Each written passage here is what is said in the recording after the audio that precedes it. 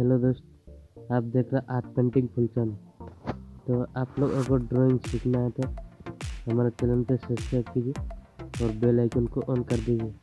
ठीक है, मैंने ऐसे वीडियो लाते रहूँगा आप लोगों के लिए। तो इसका जो फुल वीडियो में करके रखा हुआ है, वो कल डालूँगा। ठीक है तो इसमें स्टेप बाय स्टेप आप लोगों को बताऊँगा कैसे करके स्केच करना है और आउटलाइन भी करना है। ठीक है तो हमारे चैनल पे नया आता सब्सक्राइब करके रख लेना और बेल आइकन को प्रेस कर देना का ठीक है?